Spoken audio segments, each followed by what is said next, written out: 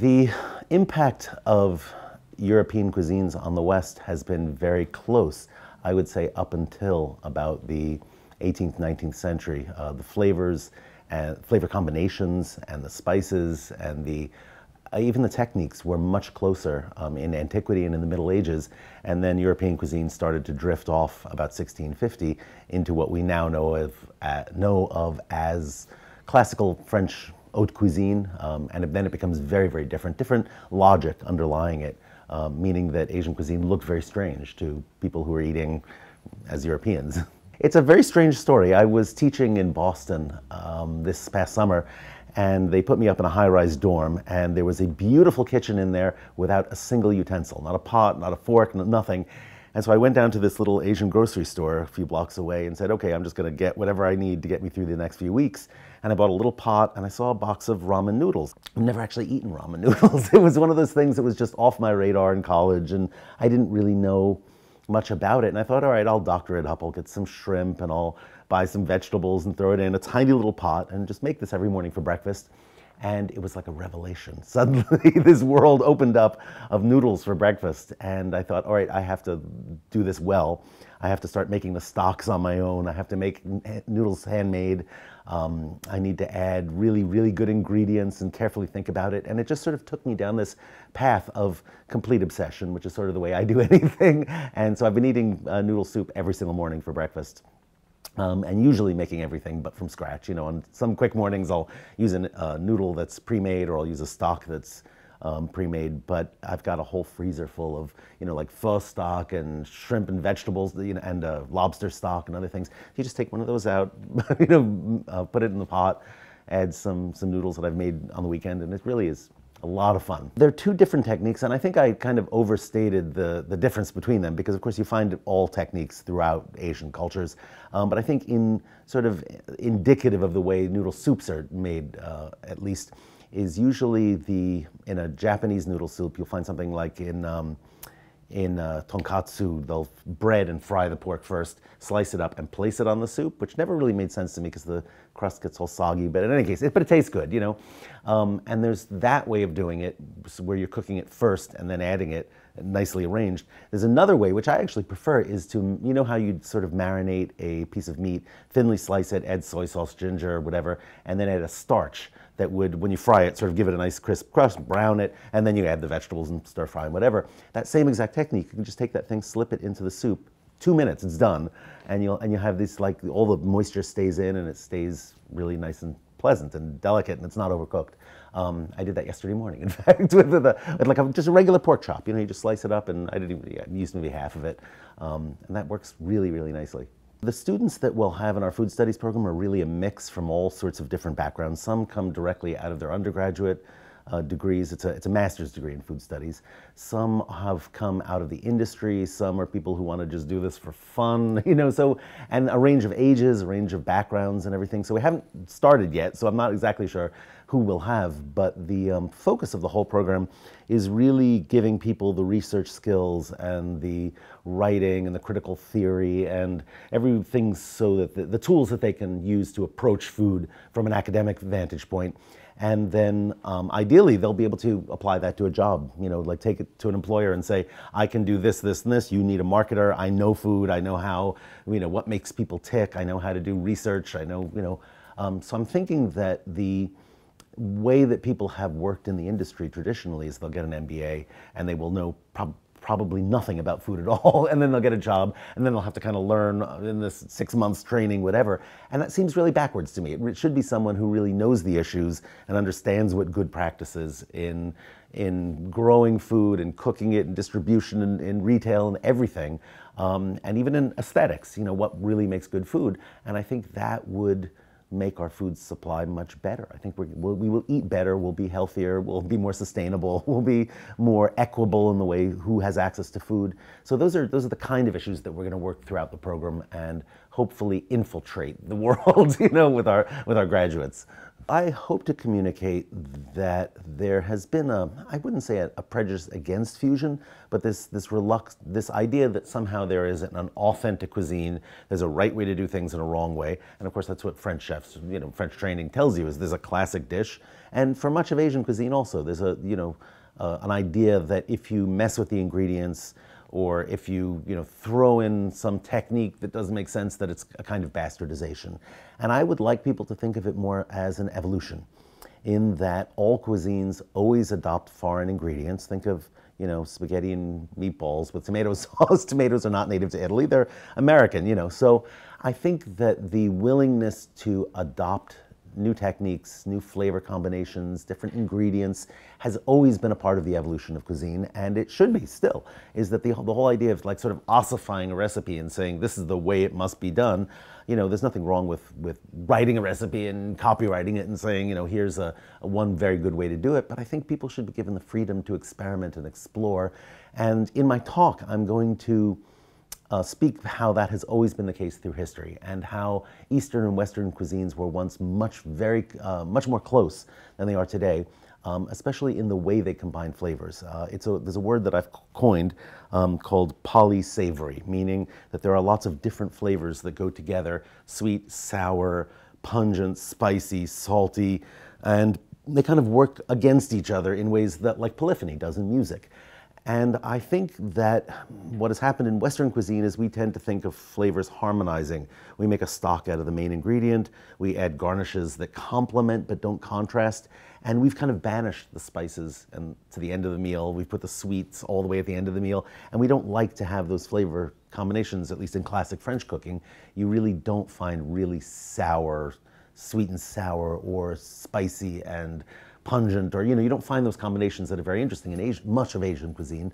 Um, and I'm going to try and talk of how they were. One's very close and how they veered off, and how now really they're coming back together again. Is that that you know chefs everywhere are borrowing these combinations. You know, you wouldn't find it strange to find cilantro and lime and sriracha on something on a Western dish, and it works. You know, because uh, and I think it it actually always did work, and and in a sense we're getting back to where we once were um, in the Middle Ages, really. I would not see it as a danger that chefs are using sea buckthorn from Scandinavia, um, but I understand what you mean that we're in the middle of a communications revolution, very much like that that was initiated with printing. You know, in the 15th century, people all of a sudden had access to recipes and wanted to imitate them, and there were books that came out telling you how to throw a great banquet. This is something that I've written about and how to um, cook a certain dish, what's healthy for you or not. And what it does is it kind of, you're right, shepherds people into one way of thinking, and then fads happen much quicker, right? Is, is that everyone will want the latest new ingredient, and the next year they'll have to find a new one because then once everyone's doing it, it's not really of interest anymore. So I think with the computer revolution in, in communications, the ideas just happen quicker now, you know, so uh, an ingredient can come into fashion and be out within a couple of months. And I think, you know, the moment it shows up in Bon Appetit or Food and Wine, it's done, you know, then it's completely common. And I think the, the trends that we're seeing, and this is really just my opinion, I'm not, I'm not sure how it will play out, but notice how playing with machines in the kitchen is kind of not that exciting anymore because you know you, you, can, you can buy a sous vide machine in the grocery store now or a little alginate kit to make your beaded you know gels or whatever. So that it's to do that in a restaurant is really not on the cutting edge not hip. And so it's not i wouldn't i would say it's not just communications and the web and you know blogging but i think it's also the manufacturers of um, tools. I think it's also the distributors of ingredients. You know, you can go online on Amazon and buy sodium citrate and, you know, make. I, I did this just for kicks. I bought a, um, a whipped cream machine and I took some cheese and I realized that to get the cheese to, you know, amalgamate, you, uh, you need to add sodium citrate, which sort of gives it this, um, it keeps it to get, keeps it from clumping and put it in the whipped cream machine and made the, you know, the squirty cheese stuff. So I made this just, just for the hell of it. It was a lot of fun. And um, the point is that anyone can do that now. You know, there's nothing nothing special about it. And I think that you know it had wonderful kitsch value, but but as uh, you know, to do that in a restaurant, I think people will go, so what? Who cares? You know, so so so you're right. I think the web has changed the way people get their information and how quickly trends come and go. And, and I think it's, of course, it's changed the publishing industry too, completely. Is that now, unless you have a TV program or some platform, uh, business, you know, or something like that, so your name is known, it's actually really hard to get books published in the trade now, cookbooks. You know, uh, they're getting published in lots of other ways, other types of publishers, or self-publishing, uh, and people are putting things online that are, it's just much, much easier to do now. So I think that's, that's something we're going to see in the next decade or so. I think the publishing industry is going to have to reinvent itself or it's going to crash and burn, basically. You know, for the moment, they're selling a lot of books, and cookbooks are actually among the highest selling um, literature, you know, cookbooks and romances and things like that. But it's, it's, um, I think it's going to change. The business model is going to have to change. The rate of change ha has become broader, but I think the um, geographic scope and uh, has widened in a way that you could really have been isolated even 50 years ago. If you had a certain cuisine and disconnection from the rest of the world, you would evolve on your own. But I think it's kind of impossible now for people to you know, be ignorant of what's going on in Brunei or in Peru or, you know, there are cuisines around and it's very easy to find that information. You just put it into a Google search and you can find, you know, a YouTube of someone doing something. That, what I find really fascinating though is the, the sheer bulk of information that's out there has is sometimes overwhelming. Like if you look at a recipe site, for example, and type in lasagna, you will get one million hits. And they're all bad. they're all not really terrible recipes. So in a way, what has happened, which is completely counter to what I just said about the trends in cookbooks, is the voice of authority is actually a lot more important now. Is that people trust successful chefs and those that have restaurants, of course, that's a great platform to launch a cookbook, um, in that there's just so much information they don't know how to cull the good from the bad, and they're willing to trust someone who has a, a show or a great test kitchen or a chef who's got a successful restaurant. Um, so, so the voice of authority has actually become more important, strangely enough. Um, in a way that you know when Julia Child wrote, she was no one knew who she was. Just came out and did this cookbook, and the you know a lot of publishers rejected it, but finally it, it hit. But she was not known at all, and that's that's what's very different now. Advice to young chefs is have fun. Don't be uptight about learning techniques and being told what the correct and, and wrong way of doing things is, because um, cooking should be a creative process. And I think that there is a type of person in the kitchen who likes to follow a recipe, who says this is the correct way to do it, and if you veer off one inch, you're going to have disaster in the kitchen. And of course, that's not what cooking is like. Maybe you, maybe baking comes closer to to that in some respects. You have to follow the proportions and measurements, but I would say 90% of all cooking is a lot more free. And if you like a whole lot of cloves, use it. You know, if you want to cook it an extra hour, do it. You know, let it be brown. And I think that that that um, sort of really fun aspect of cooking sometimes gets taken out when, um, and I understand why cooks make very specific, or why cookbook writers make very specific recipes, is they have to copyright them and put them in and sell them, and you know, and, and say this is the unique, you know, they have to sell themselves. Um, but I would say the better cook is one that's more adaptable, that can play, that can use the ingredients that are at hand, and can change pots, can change cooking, you know, uh, source fuel sources, and kind of be adaptable to, to the uh, situation at hand. And that's when really interesting cooking has uh, happens.